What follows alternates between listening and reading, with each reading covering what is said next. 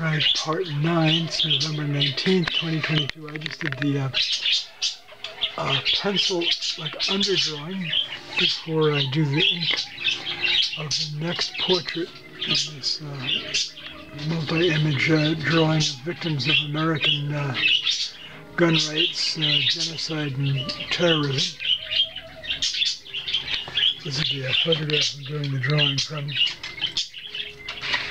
And uh, his name was Garrett Swasey. He was 44, born November 16, 1971 in Boston, Massachusetts. Died November 27, 2015 um, in Colorado Springs, Colorado, where he was a university police officer.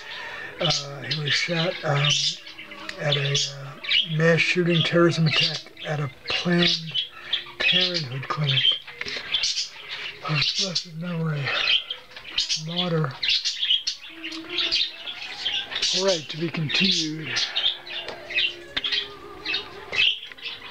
photograph again, I'm doing the drawing from.